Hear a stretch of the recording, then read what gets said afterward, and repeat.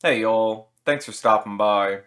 So it's another fun day on Elon Musk's Twitter, and yesterday he rolled out the latest update, which took away verification checkmarks. Well, the older, original legacy checkmarks, the ones that were handed out to actual people, not paid for. That's the new checkmark system, in case you're not aware. You can pay, I think it's $8 a month for Twitter Blue, and you get the checkmark next to your name.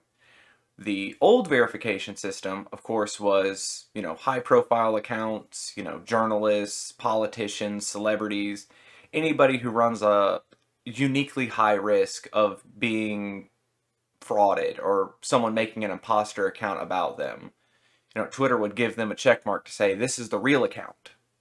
But now if you can pay $8 for your account, you know, it's hard to really tell. And especially now because you have a lot of celebrities who didn't pay for their Twitter Blue subscription, so it's gone. The one that I saw yesterday was Halle Berry. It actually showed up on my feed, some post of hers talking about me tomorrow joining the unchecked masses. And then when I clicked her page, I watched her checkmark disappear. And like, I know that one was the actual Halle Berry page, but now it's like, how can you really know for sure except for like scrolling through, seeing what they post about, and like putting it all together yourself? Now, what's really funny about this whole paid checkmark stuff is you had a couple of celebrities who said they would never pay for it. You know, I think the two I can remember in particular off the top of my head were LeBron James and Stephen King. Both made tweets where they said I'm not paying the I'm not paying for the checkmark. And they both have theirs still. And with the update that happened, it says that they've paid for Twitter Blue and have verified their phone number. Now, Stephen King went out after, you know, this update change and made a tweet saying, "Look, I didn't pay for this. I have never verified my phone number with Twitter, so I don't get this." And Elon Musk replies, "Namaste." Later we find out that Elon Musk is personally paying for several Twitter Blue subscriptions for celebrities, which I find incredibly funny because, you know, he started this whole power to the masses thing with the check mark saying, you know, oh, we're going to give them to all the regular people. And he's basically reinventing Twitter's original verification program. There are people who should have these marks because they are the original account. You know, sure, we all run the risk online of someone making a fake account about us and posting stuff that we don't agree with, but people think it comes from us. We all run that risk. We all should have that level of protection. But there is a unique sort of situation when it comes to high profile targets.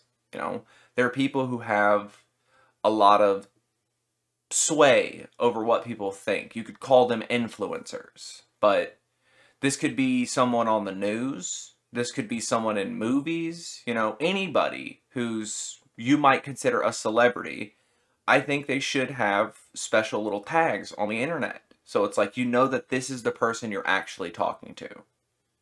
You know, when I used to post on Reddit and they did their little AMA things, whenever celebrities did those, they went through a verification process with the moderators of the specific subreddits that they were, you know, talking through. So you know for sure that this is the person you're dealing with. I'm not saying that Twitter needs to do that for everybody, but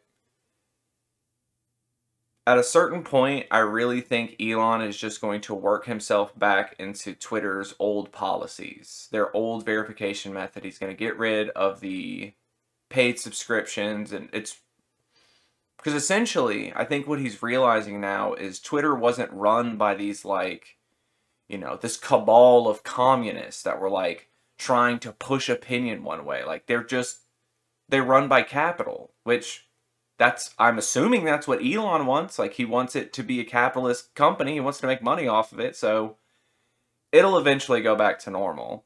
I'm assuming.